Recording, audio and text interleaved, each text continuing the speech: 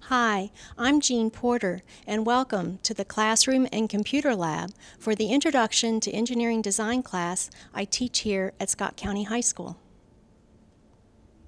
Using a variety of hardware and software, some provided through a Project Lead the Way grant in 2006, students can go from an idea to a three-dimensional computer design and then output a mathematical model of their designs.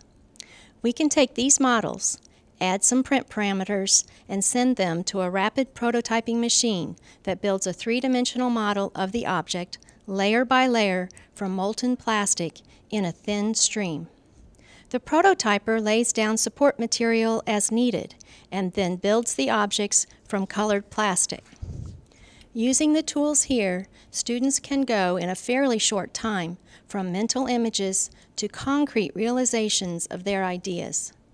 This helps them understand more clearly the joys as well as the puzzles and problems of engineering as a vocation. So